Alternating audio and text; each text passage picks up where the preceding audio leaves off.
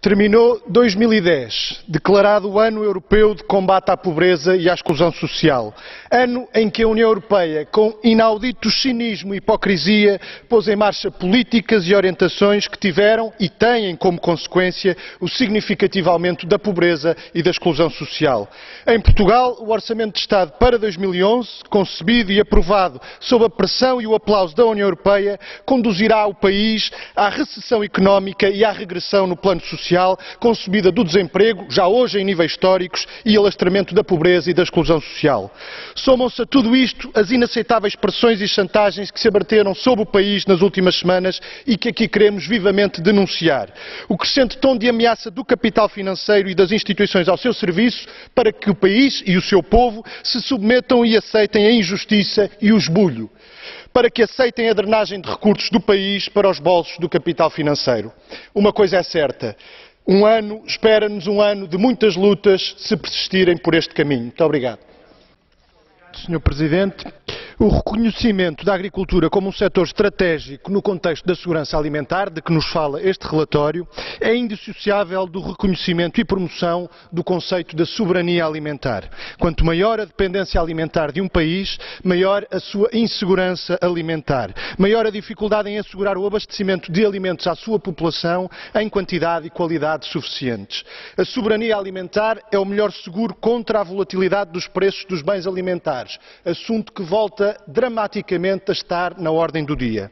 Esta volatilidade tem tido origem fundamentalmente na especulação financeira, exercida sobre os produtos alimentares, área em que os especuladores, fundos de investimento, hedge funds, fundos de pensões, grandes bancos se foram concentrando à medida que outras bolhas especulativas foram secando ou rebentando. A única maneira de impedir esta especulação é acabar com os instrumentos que a viabilizam, nomeadamente com alguns produtos financeiros, como os derivados OTC. Infelizmente, as medidas que a União Europeia adotou neste domínio estão muito longe de poder travar esta sinistra engrenagem da especulação e as suas desumanas consequências, como vem, aliás, reconhecer um relatório recente das Nações Unidas, da autoria do relator especial para o direito à alimentação. Muito obrigado. Muito obrigado, Sra. Presidente. Sr. Comissário, a descoberta de produtos contaminados com dioxinas e a sua disseminação por diversos circuitos de comercialização constitui um facto da maior gravidade. Sem prejuízo de se apurarem cabalmente responsabilidades e consequências deste facto e de se rastrear o destino dos produtos contaminados, este incidente convoca-nos a uma reflexão mais profunda sobre o falhanço de todo o quadro regulamentar existente.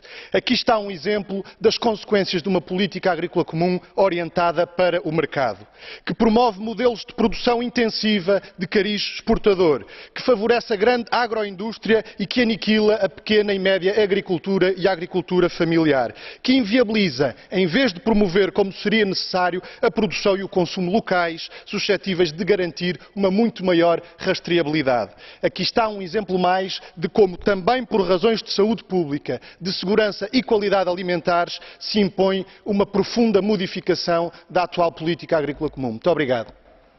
Obrigado, Sra. Presidente.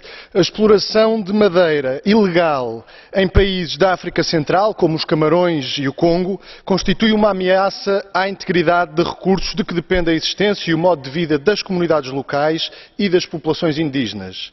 Uma ameaça a um ecossistema repositório de uma enorme biodiversidade e com uma importância muito grande na regulação dos ciclos biogeoquímicos.